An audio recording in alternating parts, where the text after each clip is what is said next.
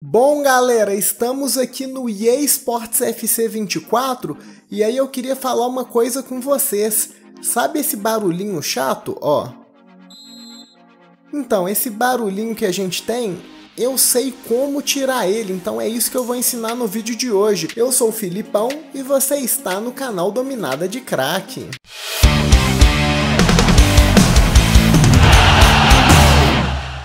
Bom, galera, tirar esse barulhinho ele é mais simples do que você imagina. Basta pausar qualquer partida, esse amistoso que eu coloquei, Bayern de Munique e Borussia, você vem em opções, opções de jogo, é só vir aqui no campo de áudio. Colocou no campo de áudio, galera, aí você vem aqui na opção volume do áudio do controle.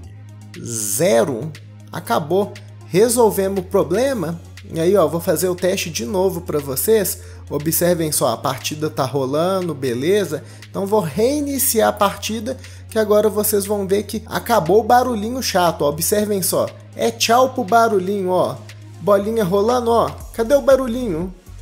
Acabou o barulhinho, resolvemos o problema. Então, tutorialzinho simples, tranquilo. Então, se você gostou, resolveu o seu problema, deixa aquele like, se inscreve no canal. E galera, dica muito importante para vocês: o barulhinho ele é o menor dos problemas no FC24. O Filipão já ensinou a configurar o controle, a câmera, que são outras configurações bem mais importantes do que esse barulhinho estético. É lógico que ele é chato, atrapalha a gente e tal, mas enfim.